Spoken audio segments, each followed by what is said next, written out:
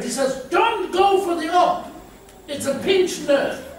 All you need to do is stretch yourself a little awkward and then the nerve will be released. So sometimes we don't have to be spending all the inconvenience in the hospital and the money. Just listen to Dr. Branham. Pinch nerve, you just do something, cut some trees, mop, mop the floors, you know, something that gets you moving. And it pops out and you, you're okay. Watch here. In God Can Heal You, rather in Demonology, part 59, he says to a person, he says, there's a horrible demon over you. I see you suffer from upset. You're upset all the time, very grouchy in the mornings. He says it's your sugar levels. I would have never thought of that. There are some people when they wake up, goodness gracious, you need the army to come now. well, it's because the sugar levels were building up overnight. He says it's your sugar levels. Amen. Oh my, in another quote, many of them are put together, he says, dizziness and headaches could come from high blood pressure or low blood pressure. Sometimes nervousness results in dizzy spells. Sugar in the blood. Another one, he says, you've got a growth in the neck and the doctors couldn't pick it up.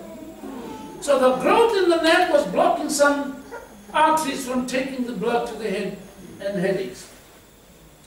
Another one, he said, you are being not treated correctly, your headaches are due to your menopausal state. You see, doctors sometimes miss it. It, it, it needs God to say, because of this. In that case, it may not be the same thing. Amen? Oh, we need God. We need God. Go tell paragraph 140. Again, here he says, You are grouchy in the mornings. It's your blood pressure.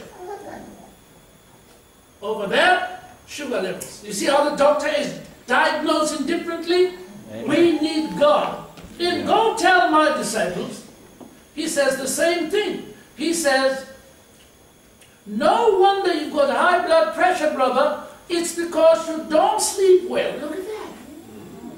Sometimes sleeplessness can cause something else. He says you've got high blood pressure because you don't sleep well. Amen? He says if you don't get healed, you'll die pretty soon. The other one, he says, in uh, Voice of the Sign, Tulsa, or oh, Tulare, California, beg your pardon, volume 22, 12, he says your nervous condition causes your high blood pressure.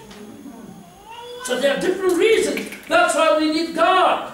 We need God. Here's another one. He says you suffer from high blood pressure and you've been wondering you were all right all the time. Suddenly after the car crash, high blood pressure. He says it's the stress from the accident. I don't know, trauma. That's the word they use today. The trauma. God have mercy. Now we are coming to some sensitive parts. Insulin. You know, insulin is a protein hormone secreted in the pancreas and it's supposed to control glucose in our blood. When that fails, for whatever reason, the doctors suggest that you take insulin shots. The prophet of God says, hmm, you know, dot, dot, dot. He says, insulin, bad stuff. Another place he says, it's good up to a certain extent. So you balance the two. Let the doctor tell you which is good for you. Some people, insulin kills them.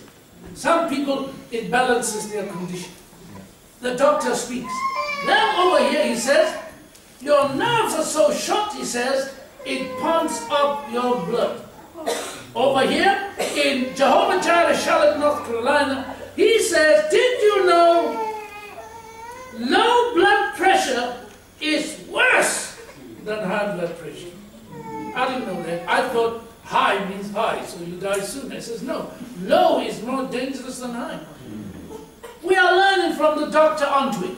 Yeah. Oh, God of mercy, in 1951, manifestation of the Spirit, part 72, He says insulin, bad stuff, an awful thing. Then he comes over here, he discerns ladies who are going through a certain time in their life.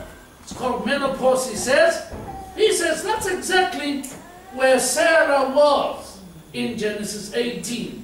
She said, Me being old and Abram being old, he says, today they call it menopause. It comes from the Greek word menses, the 28 days pausing, stopping. Menses pause, menopause. But he goes on, he says, Do you know God can heal that? And their sisters would think that once they hit that stage, no healing. He says, God can heal that. God can, God can give you a blood transfusion. Amen. Oh, I love that. Hallelujah. Hallelujah. He says, You have the right to ask God for your blood again. Amen. I believe it. Though men don't go through it, we go through something else. the prophet says in the message indictment, he says, When men hit that stage, he says they run around. You find a man with no hair at all, a little bit of hair, he wants to make a promise. oh, shit. At that stage, he wants to wear shorts now. Like he's going to the beach. He says, poor guy. Is that right? He says, but women often cry, they weep, and I pity anybody whose wife is going through menopause if they don't have the Holy Ghost. You will misunderstand them. You will. Because some of them whine all the time. They whine. But if you don't know, you think she's gone cuckoo. She's crazy. She's not crazy. She needs your attention. She needs for you to understand. And then when you pray together for the condition, it eases matters. Amen. The says it's a stage of life we all have to go through. Is that right? Lord have mercy. You've gone quiet, but that's all right. the prophet of God says, see, menopause is what? He says, change is a change of time. You've been getting sick spells, stomach trouble. You don't eat well, your food does not digest right. So your menopause has started peptic ulcers in your stomach. It's the devil, of course. If he can use anything to complicate and take your life, he will do it. But he says, over here, he says, sometimes you belch up your food in your stomach. It's the acid. It's because of your age. And you suffer from bad breath. He says it doesn't come from the teeth nor the gums. Mm. It's the acids in the stomach. They call it halitosis today. He says, but in my discernment, and knoweth it not, volume 2, number 10, he says, in the discernment I pick up girls from 20, 25 years old, already going through menopause. This was 1965, and it ain't getting better. Yeah. So we need prayer all the time. Amen. Is that right? Amen. See, you may look young today, but if you leave God and you don't trust God, what guarantee do you have? That starting at 15 you could be menopausal. We trust God in all things. Amen? Amen? Now we are coming to the most disturbing part of things, but it helped in my church. Now, the prophet of God says when sisters go through menopause, doctors give you this hormone shot. Are you ready? Don't do it.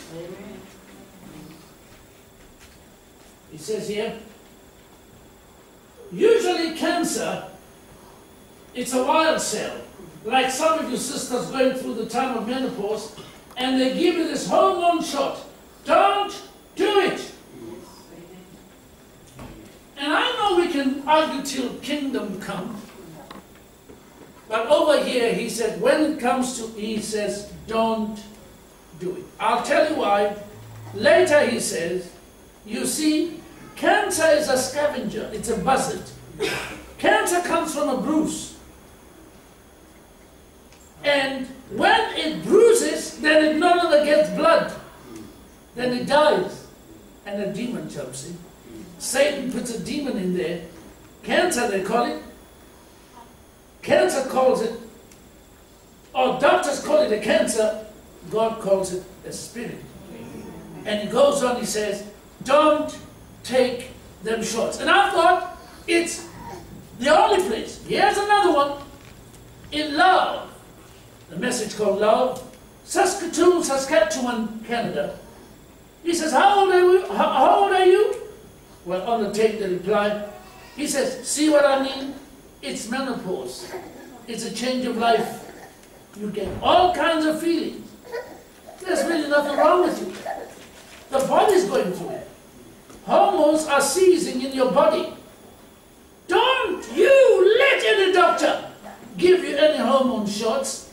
You know what it is? First case of cancer. They are putting the first case of cancer cells in you. You keep them out and you trust God. Amen. He says it again in Greater than Solomon is here, more than one place. He says they give you these hormone shots. Don't you do it. Well, when I read this in the church, I was shocked myself. And there were sisters who were taking the shots, and they stopped by faith. And the husband said, Wow, life is back to normal. Amen. Sometimes, Brother Ben says, the shots is what they put in those shots. Yeah. Is what makes you even more sicker. Yeah. So, at least on this one, I'm safe. The others you would say, uh, like insulin, he said it's good, it's not good. But this one, he says, don't you take it. Cortisone. He says, don't you take it. Why? He says, cortisone, the doctor speaks, is compound E. It's steroids. And it's from the bile of an ox. And they put that in you. Cortisone. Get away from that zone. Yeah cortisone, stay away from that zone. Amen. Then he speaks about Rockefeller, who misunderstood his wife when she was going through that period of life. He left her and he took a secretary. The prophet says, what a shameful thing. Brothers, when your wives get to that, you trust God and understand. Then he speaks about penicillin. He says a doctor can give you medicine, that's how far he can go. Medicine like penicillin kills the germs. But along with that, it kills something else. That's a problem. While they're trying to correct the one thing, they're killing something else. He says, penicillin is good. These antibiotics will kill, to a great extent, they will kill the bug. But sometimes penicillin kills the very person. Yeah. So now you trust God. If the doctor says, I want to give you this, let me pray about it. Amen. Amen? Amen. If you put God first, Amen. there's no medicine that will fail if you put God first. I'm not saying don't take it, I'm saying put God first. Then he speaks about brothers when we reach 40, how the eye actually gets flat, and you need glasses like I do, and there are times without my glasses I don't see too well, and my wife says, That's when I love you. Did you read her? When I say, Portia, I don't see too well anymore, she says, Now I love you. I know what she means. She says, You see me? That's enough. Wonderful. Hallelujah. Now, in the message, 1955, the calling of Abraham, paragraph 19, we're going to close. He says, sisters who are struggling to fall pregnant. This one, I became a champion in my church for finding this quote. I didn't make the quote, I just found it, but I became a champion. He says, sisters who are struggling to fall pregnant for your husband. He says, eat a lot of berries. Quote. Who told him to say that? It has to be God. Amen. Dr. Branham speaks Christ to him. He says, eat a lot of berries. They are rich in protein. Then baby will come. In another one, he says, no sister really can fall pregnant where there is stress and strain. He says, learn to relax. Amen? Amen. In another place, he says, take the baby adoption route. Yeah. It doesn't mean you can go adopt a baby, of course. It worked with some sisters. Brother Ben says, you want a baby of your own? Yes, go adopt one. And then, after some time, their baby comes. But in another quote in, in adoption, he says, take the adoption route. He says, adopt faith. Amen. Some people struggle. They say, I don't have faith, Brother George. I don't have faith. Adopt faith. He says, behave like we have the Holy Ghost. That's not hypocrisy. We're not talking about hypocrisy. He says, watch people who have the Holy Ghost, how they talk to their wives, how they, they treat their children. He says, adopt it. He says, when God sees you doing it, He gives you the Holy Ghost. You don't give up and say, well, I'm made like this, and so God made me like this. No, you never get anywhere like that. You say, okay, I am like this, and I don't like to be like this. So when I see Sister Faith speaks like this to Pastor, I'm going to speak like that to my husband. Brother, you do likewise. Watch your pastor, how he speaks to the wife. You do the same. Not like a brother I know before I close. The wife says, husband, when we're in public, please, speak to me in a gentle, loving way. You know, I'm among other sisters. You speak to me and how I lose respect. You know what the brother used to do? This is going to be a bit crass, but it'll teach a brother a lesson. He used to say, over the crowd, the wife is over there, hey you mother of six, bring me a drink.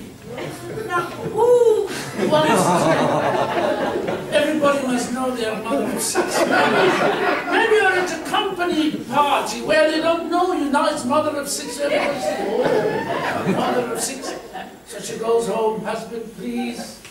If we're in public where they don't know, my name is Catherine. He goes on again, hey, mother of six. So you know what she did one day? Yes, father of only two. he never again embarrassed her. See? We love laughing, but it'll stay with you, brother, that she has as much right if you keep on. Have mercy, Jesus. So, in the message, expectation, paragraph 42, the only quote I've come across where he addresses syphilis. He says they give you syphilis salvarsan, must have been a kind of an injection in those days. They give you 606 mercury and penicillin and so forth. That's going to kill you faster than the syphilis itself. He says, pray and trust God. Amen. So here, he's showing us that some medications, as much as it is dispensed by doctors with many, many years of learning, he says, sometimes in their ignorance they can kill you. He says, pray, pray, just pray. We've addressed the ulcers, everything, depression. He speaks about depression. He says gallbladder trouble may cause depression too.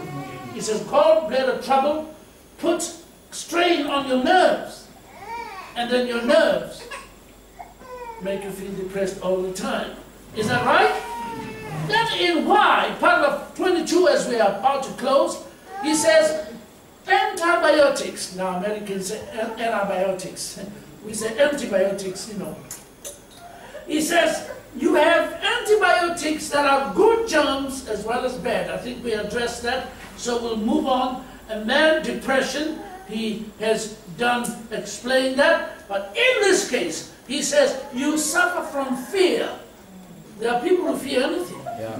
They fear the dark, they fear the water running in the shower. I don't know how to manage the shower. But people have all kinds of fears. He says that will lead to depression.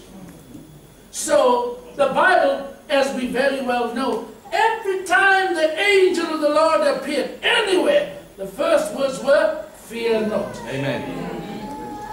Amen. So by right, a Christian ought not to have any fear. I know plenty of them fear they miss, they may miss the rapture. The very fact that you fear shows that there's something wrong with your faith. You ought to be looking forward to the rapture. You ought to be saying, Lord, I'm rapture material. There's no way you're going to leave me behind. I'm doing my best to put that word in me. I'm rapture material. I'm not staying behind. Amen. But there's this fear and that fear. The devil's going to hit you hard. Fear is terrible. Brother Branham, as we close, is going to address the question of weight. I thought to keep that for last. And I'm not here to disparage anybody. There are different reasons why others are like me, others are others are bigger. There are different reasons. And the reasons may not be because people eat too much. No. There are many reasons why this happens. But you are going to love me at the end of the service for reading the quotation where the prophet answers the best weight loss ever. How many of you ever heard him say? No. Why? It took me months to research. It can take you months also. Likewise, to research anything else. So we are told that the thyroid, and the doctor here in my church gave me this article, it's a little flapper here. When your thyroid isn't functioning right, it interferes with metabolism, the breaking down of anything you eat. So, Brother Branham is going to tell us, he says, the first thing you look at is not run for a diet or a tablet. The doctor speaks. He says, have your thyroid checked. And then over here, in expectation, leading of the spirit, paragraph 63, he says your thyroid is malfunctioning and that's why you are overweight. You see, he's connecting it. And the doctor says, they didn't know this in the 50s when Branham spoke it. It's a modern discovery. Yeah. I hope you appreciate it. Yes. They are now discovering what your prophet told you in the 50s. That your thyroid is not functioning properly. That's why you are overweight. Doctors are now confirming it. That's what I love about this message. Amen. It'll back itself up. Yes, sir. Thyroid. So, Psalms 23, verse 4. I'm going to have a play on words. Thyroid. Thyroid. Thyroid and stuff. They comfort me. So, if the doctor cannot find the source, which the prophet says is the thyroid, you trust God that He finds that your thyroid is malfunctioning. Amen? Now we are closing. The prophet of God says, in time tested memorials of God, 1957, Jeffersonville, Indiana. He says, I've lost 20 pounds since I last saw you. He's talking to his own church. He says, I got on the scales the other day when I left for these meetings. I was weighing 165. I got back. I now weigh 145. I lost 20 pounds. And a lovely sister noticed it and said, Brother Branham, pray that I can also lose weight too. I'm a little bit on the strong side, she said. I said to her sister jokingly, if you want to lose weight, why don't you come along with us on these missionary trips? of course, that's on the jokey side. But now it comes to the real stuff, and you give me five minutes or so, I'll close. In Jehovah Jireh 1961, are you ready, sisters? Here comes Dr. Branham speaks, and God must have told him to help all of us. He says in Jehovah Jireh, Richmond, Virginia, 1961, paragraph 11, he says, You want to lose weight, sisters? They say, Amen on the tape. He says, Take it from me, cook blackberry. I don't know what that is. But there is something in the blackberry, the way they cook it. He says, Cook blackberry cobbler. And if you listen to the tape, he isn't joking. So if any sister knows what that is, I don't know, I'd like to know, it'll help. Cook blackberry cobbler. He said you will lose weight. Now we come to the order of the day. You know, we live in an hour, whereas in the Bible it was Adam and Eve. Now it's Adam and Steve. Mm. I hope nobody's called Steve here, or nobody's called Adam. You know how it is when you preach. I'm just making a reference, not on you as Adam and you as Steve, just to show we are living in Sodomic conditions. Whereas it was Eve back there and Adam, now it's Eve and Evelyn, and I hope nobody's called Evelyn or Eve. It's the hour we're living in, and Dr. Branham tells us the, the, the first one ever I've heard put it this way, and it wasn't so from the beginning, 1961. He says homosexuals on the increase. I picked up a magazine the other day. No, it was a newspaper in California a few weeks ago in Los Angeles. And they said that homosexuals had increased 50%. Men, women living together. He says, what is it? What has happened? He says, you see, the natural life has changed in men. His mind is changed, his spirit is changed. So this thing is a spiritual malady.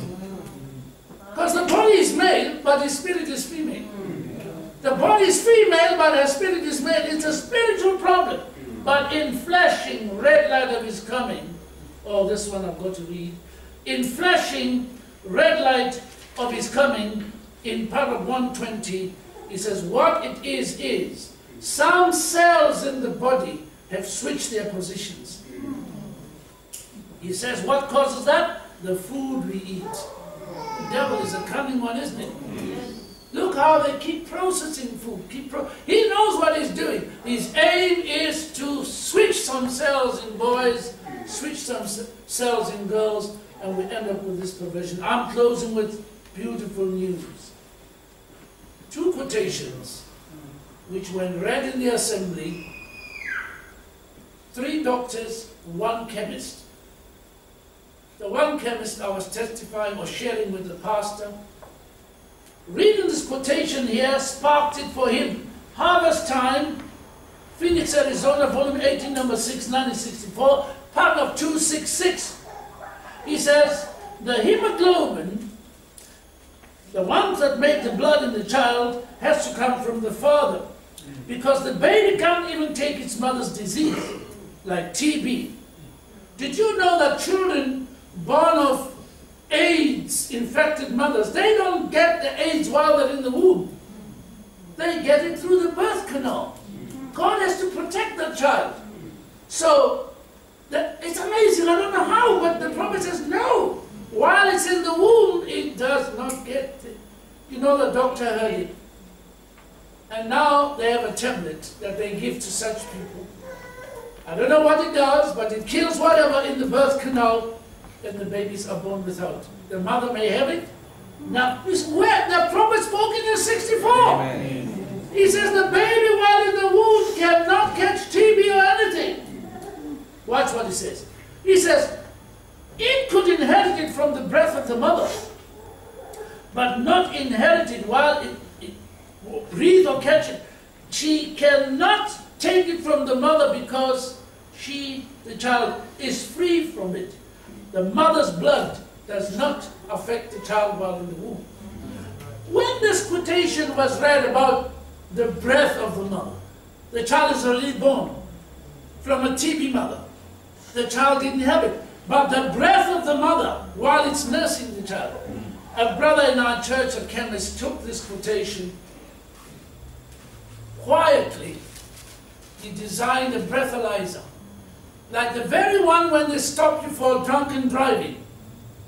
He just modified it, and now they can pick up TB through a breathalyzer. Even diabetes. He has designed a machine, you just breathe into it, they don't prick you anymore, and it'll tell you what type. America is so excited for this brother. It's an African. So excited two days later, America had paid a ticket for him to come demonstrate it at a medical symposium. Pray for our brother. Believe in the message. Our quotation is read like this. Something sparks. Amen. He's not the only one. Here's another one. This one is a brother called John Narbury. I know him personally. He says, Sincere greetings, Brother Martin. This is 1995, March the 12th. I had met him a year or so before. He says, concerning the AIDS compound, it's a long story. When I met him in Arizona, in a church like this, after the meeting we shake hands, I could tell from his accent that he was from Africa. I said, you're not American.